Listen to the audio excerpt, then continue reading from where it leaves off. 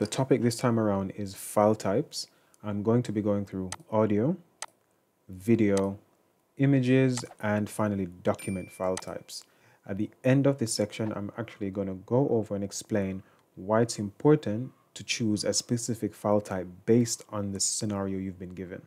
So I'm going to quickly go over the file types for audio first and then have a brief discussion about it. So we have M4A, which is an MPEG-4 audio file, just like we have MP4, which is MPEG for images and video. We have M4A for audio. We have FLAC, is a free lossless audio codec. So lossless means that when it is actually compressed, you are able to go back to the original data. Now, if something is said to be lossy, then you cannot go back to the original data, right? So if we find an audio codec here which says lossy audio codec, you can never go back to the original. But lossless, it does make the file a bit smaller, so it is compressed, but you can always go back to the very original thing that was recorded in the studio. Okay? Next one we have is, oh, MP3, probably the most common file format there is. And I will touch on this later on as well as to why this is important. And again, this is MP3 audio files and MPEG audio layer 3 file format. Um, the key features of MP3 is the compression. It saves a lot of space, all right? We have MP4 audio file.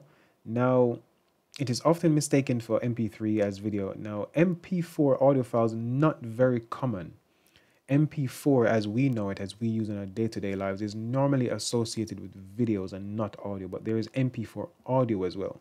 So we have Wave, which are typically used in Windows systems, not widely used like MP3 is.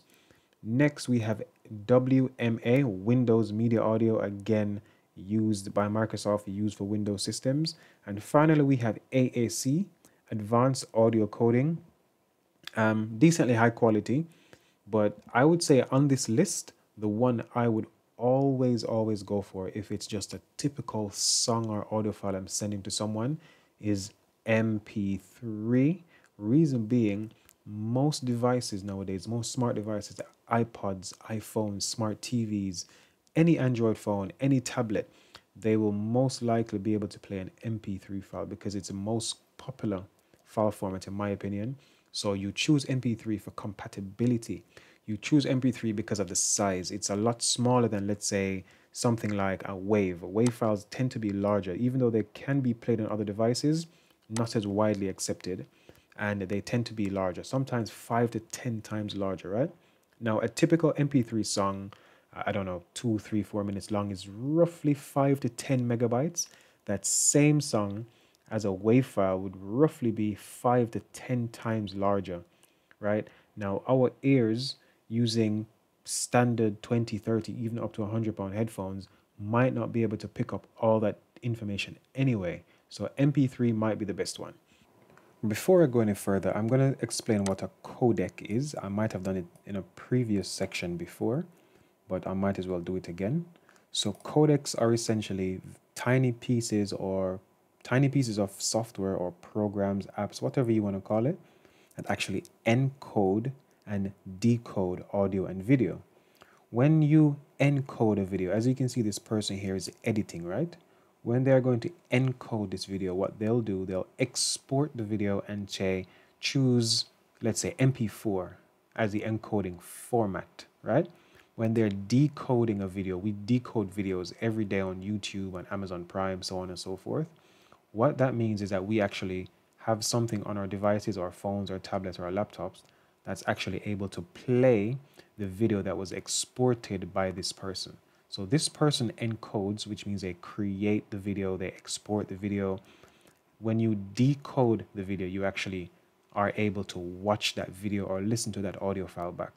Video file formats and codecs. We've already explained the codecs. I'm going to look at the file formats now.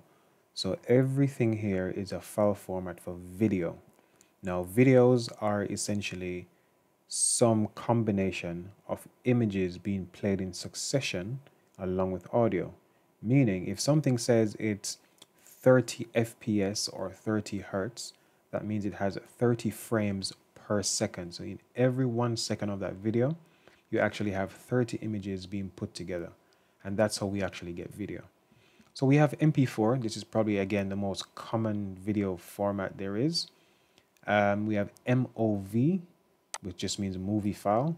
Uh, it's a QuickTime film. Don't worry too much about the details here. What the main thing you guys need to know is that the the types of files are associated with what. So again, MP4, all everything here is a video. MP4 video, MOV video, WMV video, AVI video.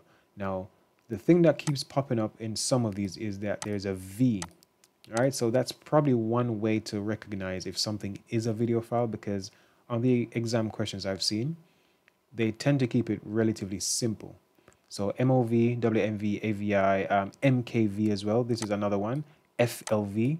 So these are probably the only ones that you will see on an exam. And it will always go back to something along the lines of why would you choose a file that's compressed over a file that's not compressed? Why would you choose this codec over that codec? Why would you choose this one if file size is an issue for someone who's trying to export a video? We have to link it back to something. And again, I will touch on that at the very end. Now we're on to images. First, we have JPEG or JPG. These are both exactly the same thing. However, some operating systems or some systems in general, they prefer JPG and some prefer JPEG. It really doesn't matter. They're exactly the same file format, right? We have PNG, GIF, I say GIF, some people say GIF, TIFF, PSD, not used as much as this can only be opened and created using Photoshop and Adobe program. Now, PDF I wouldn't really class this as an image format because it's a portable document format. You can have text in here as well. It's normally used when you have a Word document, for example, it's normally used to export that Word document in a format that's no longer editable by anyone else. Now, these are the only ones I'm going to focus on and maybe RAW. RAW is an image format that is uncompressed. Some phones can do it and most cameras, most professional cameras will use this type of uh, file format because you get a lot more data in your picture so you can edit it better. It just has more detail overall. Finally, we have document formats. I guess the most popular one is probably going to be Word document or Word documents. So we have DOC and DOCX. The only difference between these two is that DOC is the older version, which is still compatible with DOCX, the newer version. So DOC is old, DOCX is new. If you have an old one, you can still bring it into the new one. And in some cases, you can bring a new one into the old one, but it might change some of the font and just the way it looks in general because the newer version just has more features. HTML and HTML, again, same thing. HTML is the language or the, the, the organization used for websites. That's something we're going to have to go into at some point as well. Then we have ODT, Open Document Format. This is essentially an alternative to Microsoft's Word document. Think of it like that. We have PDF, and again, I mentioned before, PDFs I would say are mainly used for documents, and documents can have images and text. We have XLSX and XLS, again, Microsoft. This is the old version, Excel files, and this is the new version. And you can go back and forth in most cases, but the one with the X is the newer version. ODS, uh, spreadsheets again, but this is again the open, the free version of the Excel format. Okay, so they, they more or less do exactly the same thing. We have PowerPoint, and again, we have old and we have new.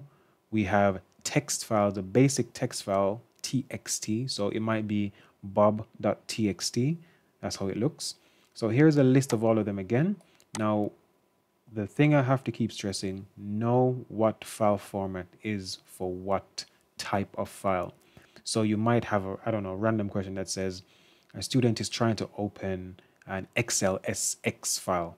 What program would be most appropriate for them to open this file with?